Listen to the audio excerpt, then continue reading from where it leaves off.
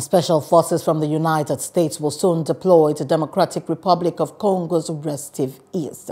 And this is to gauge the potential for a local anti-terrorism unit to combat Islamist violence.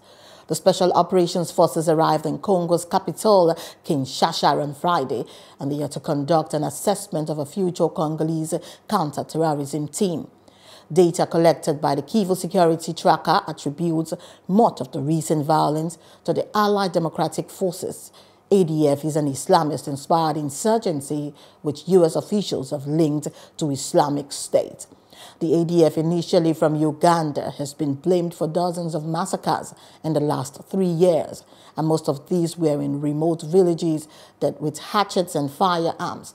Islamic State has claimed responsibility for some of the killings, but United Nations experts have doubted the militant group's influence over ADF operations. Hello, hope you enjoyed the news. Please do subscribe to our YouTube channel and don't forget to hit the notification button so you get notified about fresh news updates.